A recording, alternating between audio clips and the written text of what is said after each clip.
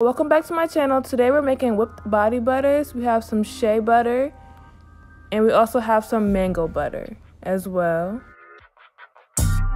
So besides other body butters that I use, I also use grapeseed oil, avocado oil, and jojoba oil.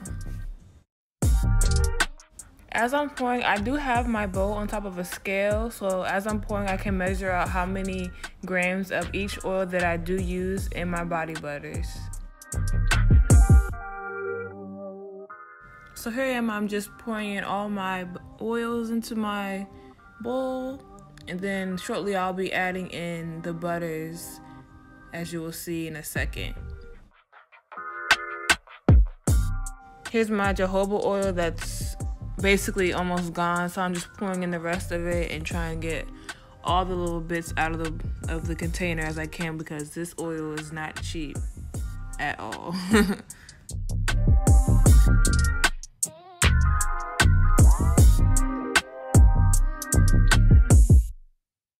so now I'm just going ahead and adding in the butters. I already pre-measured them out onto the plates before I put them in. So here I am just adding in other butters.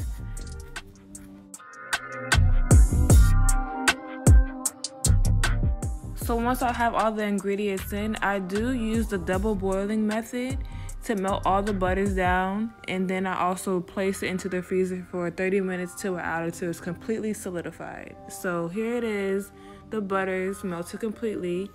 I wrap it and cover it before I put it into the freezer. Now that the butter is completely solid, but it's still not completely hard, it's still easy to whip. We're going ahead and whip it up for a good 25 minutes. You're gonna see the process of whipping it and making sure that all the butter is whipped. You're gonna see the color of the butter change as well. It started off yellow and now it's turning into more of a white color and also the texture becomes fluffier. Kind of like whipped cream. A lot of people think that this butter kind of looks like ice cream or whipped cream, but you can see how it gets fluffier and it's very, very pretty.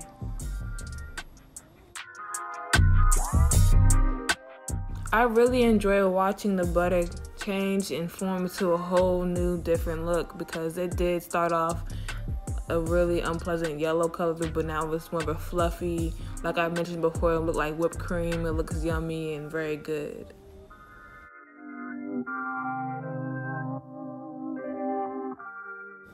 So now you're going to see me stop the machine from whipping and we're going to go ahead and try to make sure all of the butter is incorporated into the whole mixture. Don't want no hard anything left in the butter so you kind of make sure you scrape the ends of the bowls, the outside of it and make sure you get all the butter mixed very very well because you don't want anything to still be hard or solidified. You want everything to be a smooth consistency.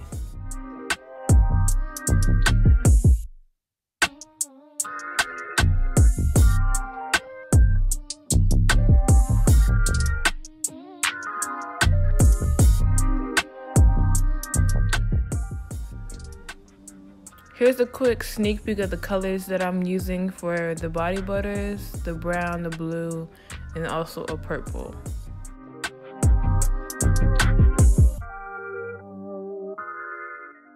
So I am adding in the rose hip oil and vitamin E oil into my butters. They're good for skin as well.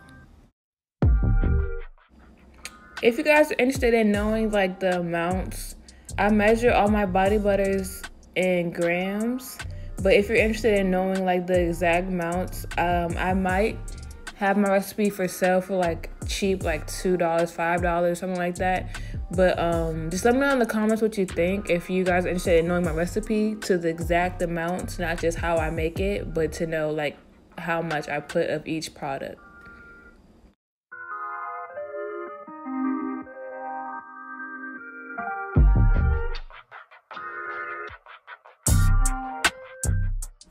So here I'm just making sure that all my butter is very incorporated into the mixture. I'm scraping the sides of the bowls to make sure that nothing is missed. Like you see there's a hard piece left in the butter. So I want to make sure that there's no hard pieces left in the butter.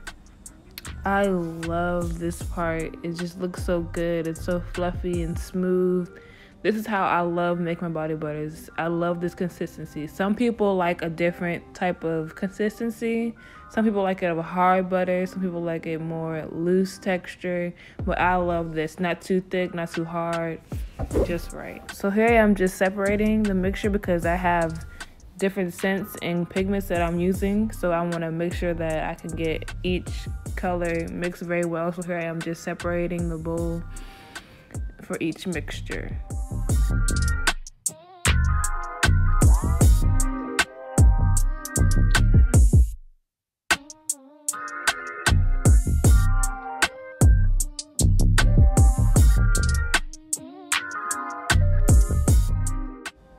I'm starting off with the purple pigment for my lavender scent body butter. So I'm just adding a little bit to the mixture and then I'm going to whip it up very well.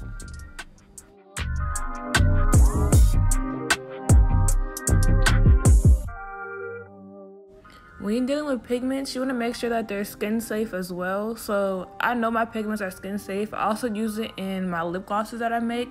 If you didn't know, I do sell lip glosses as well. You can also shop for my lip glosses and body butters. The link will be below in the description.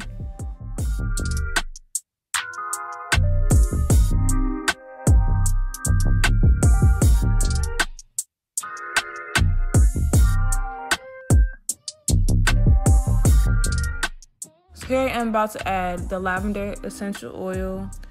It's very good for at night. It's a soothing, calming aroma. So I really recommend the lavender scent, especially before bed after you take a shower. It just makes me calm. I really enjoy lavender and it's one of my top selling scents as well. I hope you guys are okay with my recording. This is my first time recording me making body butters for YouTube, so I was kind of unsure about the angles. So I hope you guys are fine with how I was recording. If not, please let me know in the comments what you think I should change, anything of what I was doing. I'll take any tips, any criticism because it's my first time. So, hey, I'm just trying things out for the first time. Now I'm adding in the brown pigment for our chocolate chip scented body butter. So I'm just making sure I whip it up very nicely and making sure that all the body butter has the pigment incorporated into it. As you can see, some parts of it is still white, so I want to make sure that it's all mixed up very well.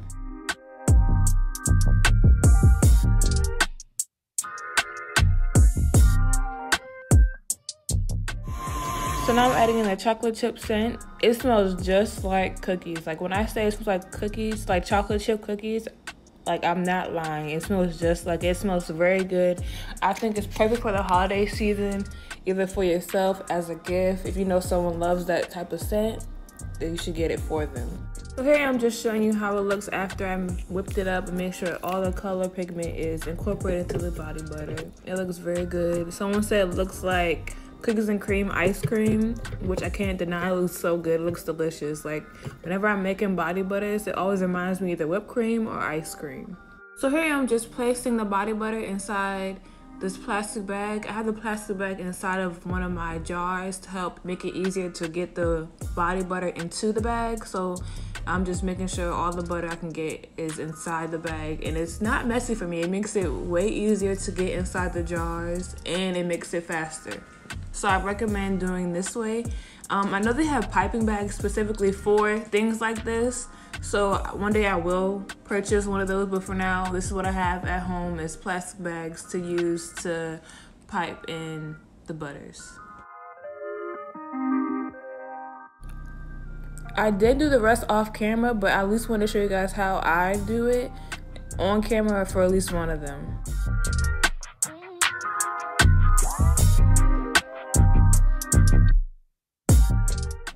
I think this is my favorite part is watching how smooth the body butter goes to the jars. Like I think it's just the best part. It's very satisfying to see your product go into the tube and see how creamy the texture is. So now I'm just gonna do that for the rest of the jars for all three scents for the chocolate chip scent, the lavender scent, and I also made a blue raspberry scent off camera. If you didn't notice, there was a blue scent uh, not a scent, but a blue color in one of the bags. That was a blue raspberry. So I'll stir that off camera, but I'm just gonna go ahead and pipe all my butters into these jars.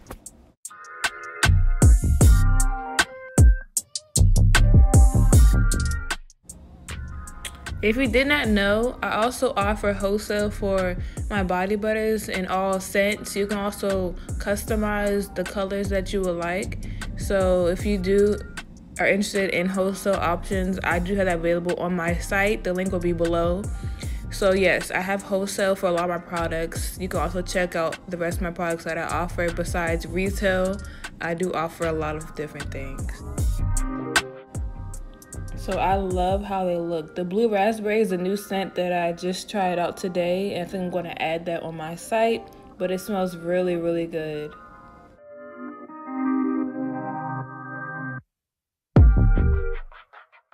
Now that I am finished drawing all my butters, I hope you guys enjoyed this video. Um, I was concerned about the angle because I don't know if you guys really can see what I was doing, but I hope you guys can still get a good idea of how to make your own butters. But if you're interested in anything, any products that I have, they'll be available on my site for retail and wholesale. So thank you guys for watching. Don't forget to like, comment, and subscribe.